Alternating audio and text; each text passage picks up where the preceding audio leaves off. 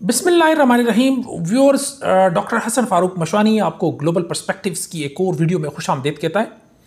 Viewers, पिछली video में हमने बात की कि कैसे जो ग्रेट पावर्स हैं या जो सेहूनी ताकतें हैं, वो कैसे थर्ड वर्ल्ड कंट्रीज़ को या दुनिया की जो डेवलपिंग नेशंस हैं या गरीब मुल्क हैं, उनको कैसे अपने शिकंजे में रखते हैं और फ़र्स्ट वर्ल्ड क्या है, सेकेंड वर्ल्ड क्या है, थर्ड वर्ल्ड क्या है या फोर्थ वर्ल्ड क्या चीज़ है हमने इस बात का इरादा किया था कि जी आज की वीडियो में हम बात करेंगे कि कैसे पाकिस्तान को थर्ड वर्ल्ड से फोर्थ वर्ल्ड की तरफ़ धकेलने की कोशिशें की जा रही हैं। व्यूअर्स पिछले 10, 15, 20 सालों में दुनिया में बहुत सारे ऐसे मुल्क हैं कि जिनको थर्ड वर्ल्ड से फोर्थ वर्ल्ड में धकेला गया उनकी जो है ना हुकूमतों को गिराया गया और उनको रिजीम चेंज ऑपरेशन वहाँ भी हुए और उनको उन मुल्कों में अफरा तफरी और खाना जंगी और आज वो खंडरात का मनाजिर पेश कर रहे हैं। तो कहीं ऐसा तो नहीं है कि हमारे साथ भी वही खेल खेलने की कोशिशें की जा रही हों। क्योंकि पाकिस्तान जो है, ये दुनिया के नक्शे पे एक अजीब व गरीब मुल्क है। इसकी जो जोग्राफ़ी है, वो बड़ी ही इंटरेस्टिंग है। ये तो एक तो ये है कि कुदरती वसाइल से माला माल मुल्क है, हमारे पास पहाड़ हैं, हमारे पास रेगिस्तान है, हमारे पास दरिया है, हमारे पास जो है ना बेतहाशा जिसे कहते हैं पोटेंशल है एक। दूसरा ये है कि हम दुनिया में एक नज़रियाती मुल्क हैं। तीसरी चीज़ ये है कि हम जोग्राफिकली एक बड़ी यूनिक मुल्क हैं कि हमारी हर बाउंड्री पे एक ग्रेट पावर बैठा है। हमारे ईस्ट में इंडिया है, जो कि ग्रेट पावर है। फिर हमारे नॉर्थ में चाइना है, वो एक राइजिंग ग्रेट पावर है, ठीक है? और इसी तरह, रशिया हमारे पड़ोस में है, अफ़गानिस्तान पिछले 40-45 साल से ग्रेट पावर्स की एक आमाज गा रहा है, फिर ईरान, फिर ये है कि हमारे साउथ में इंडियन ओशन है, जो कि इसके बारे में बड़ी इस्टेब्लिश फैक्ट है इंटरनेशनल पॉलिटिक्स में इसमें बिल्कुल कंसेंसिस है कि जी ट्वेंटी फ़र्स्ट सेंचुरी की जो पॉलिटिक्स है, उसका महवर और मरकज़ जो है, वो इंडियन ओशन है। ठीक है? अच्छा इसके बाद क्या है कि जी हम जोग्राफिकली हमारी एक और बड़ी इंटरेस्टिंग वो बनती है कि हम, हमारे ईस्ट में अगर आप देखें तो सिर्फ़ इंडिया और चाइना की जो आबादी है, ये दुनिया की एक बट तीन, एक वन थर्ड पॉपुलेशन हमारे ईस्ट पे सिर्फ़ इंडिया और चाइना की है। और अगर आप सारा मिलाएँ तो तकरीबन दो तिहाई जो इंसानियत है या जो आबादी है वो हमारे ईस्ट पे रहती है और इन सबको एनर्जी की रिक्वायरमेंट है, ठीक है? जबकि हमारे वेस्ट में दुनिया की दो तिहाई ऑयल एंड गैस के ज़खायर हैं, यानी मिडल ईस्ट से लेके सेंट्रल एशिया तक ये सारा दुनिया की जो एनर्जी रिसोर्सेज का हब है, वो हमारे वेस्ट के ऊपर है और जो दुनिया की पॉपुलेशन हब है, उस, वो हमारे ईस्ट पे है। और we are the only country जो इन सबको ब्रिज कर रहा है। ठीक है तो ये हमारी जियो स्ट्रेटेजिक सिग्निफिकेंस हो गई। इससे बढ़ के एक और बड़ी जो इंटरेस्टिंग चीज़ है कि हमारा और चाइना का आपस में स्ट्रेटेजिक पार्टनरशिप है। चाइना एक रेज राइजिंग ग्रेट पावर है फ्यूचर का और बहुत जल्द वो बहुत बड़ी चीज़ों में एक बहुत ज़्यादा चीज़ों में वो जो अमेरिकन दुनिया की जो, उसके ऊपर उसकी जो डोमिनेंस है, उसकी जो अजारादारी है, उसको वो चैलेंज किए जा रहा है।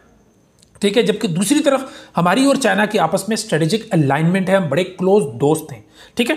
अच्छा इससे हट के एक और चीज़ ये होती है कि जब भी कोई ग्रेट पावर राइज करती है और वो ग्लोबल पावर बनने के ख्वाब देखती है तो उसकी एक स्ट्रेटजी होती है। ये बड़ी इंटरेस्टिंग बात है, ये ज़रा जहन में रखिएगा कि वो हमेशा उसकी एक स्ट्रेटजी होती है कि वो, उसको कहते हैं two ocean theory two ocean three का ये मतलब होता है कि किसी भी ग्रेट पावर को हमेशा उसकी ख्वाहिश होती है कि वो एक से ज़्यादा समंदरों को वो वो टच करे, उसको, उसके साथ कनेक्शन हो और फ्री हो। अब जो चाइना है, उसका तो बहरुल काहिल में या पैसिफिक में उसकी तो वो तो उसकी बाउंड्री है उसके साथ तो उसका कोस्टल लाइन है। जबकि जो इंडियन ओशन है, वो उसको पाकिस्तान के ज़रिए उसने बड़ा, यानी उसको जस्ट कुछ दो दो से लेकर ढाई हज़ार के दरमियान ये उनका टोटल डिस्टेंस बनता है। उन्होंने हमें कहा कि जी हम आपको सी पैक बना के देते हैं, गवादर पोर्ट भी बना देते हैं। उसमें हम दोनों मुल्कों का फ़ायदा था। लेकिन ये चीज़ें सारी जो हैं वो हमारे और चाइना के जो दुश्मन हैं, उनके जो राइवल्स हैं, उनके जो कंपिटिटर हैं, उनके लिए ये सारी चीज़ें क्या है, काबिल कबूल नहीं है। और इस वक्त मैं आपको बता दूँ कि बैन अवी सियासत का एक तालब इलम होते हुए मुझे इस बात का 100 परसेंट वो है कन्फर्मेशन है कि यूनाइटेड स्टेट्स की जो ग्लोबल फॉरन पॉलिसी है, उसका जो टॉप एजेंडा है वो कंटेनमेंट ऑफ़ चाइना है। जब ये सारी चीज़ें होंगी, इस सूरत हाल में अगेन पाकिस्तान को आप गेम से बाहर नहीं कर सकते। लेकिन पाकिस्तान के अंदर कुछ टारगेट्स हैं, कुछ गोल्स हैं, कुछ ऑब्जेक्टिव्स हैं जिनको अचीव किए बगैर ये सारा कुछ मुमकिन नहीं है।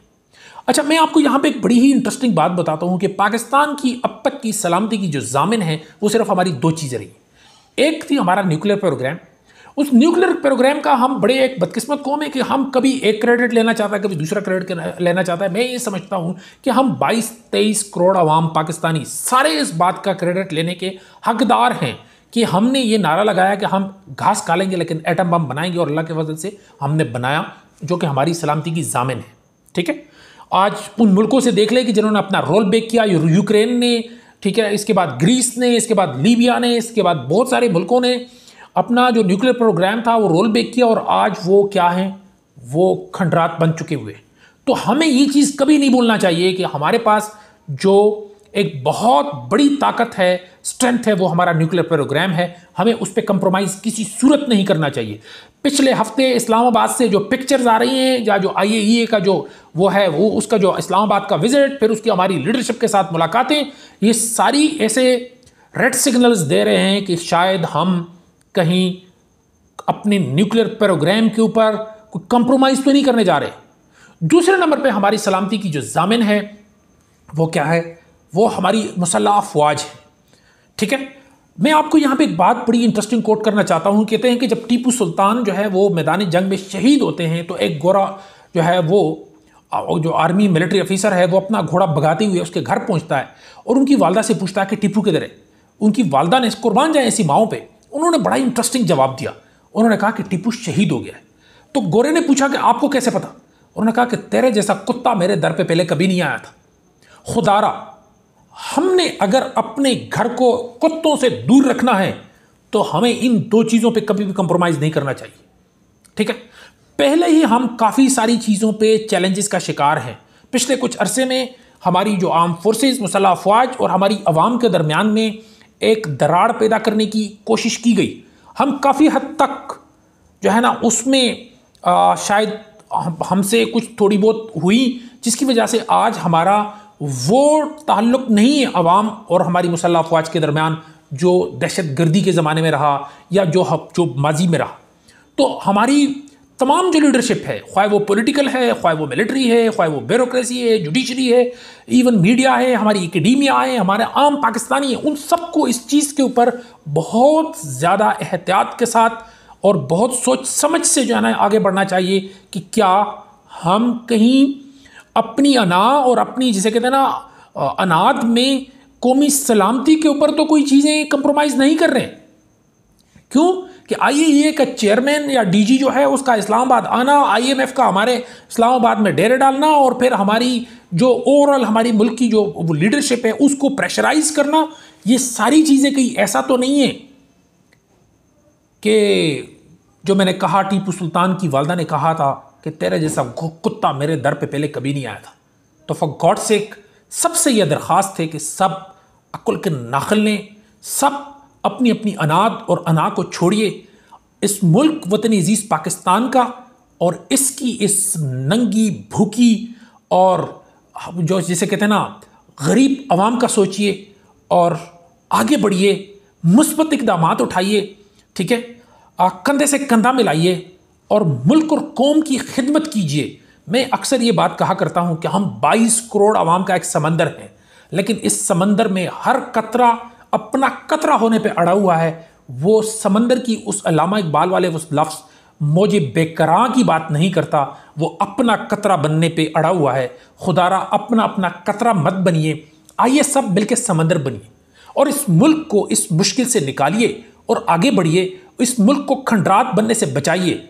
इस मुल्क को शाम और यमन बनने से बचाइए और आगे बढ़िए। अपना, अपने इर्द गिर्द के लोगों का और अपने मुल्क वतन अज़ीज़ पाकिस्तान का बहुत सारा ख्याल रखिए। अस्सलाम वालेकुम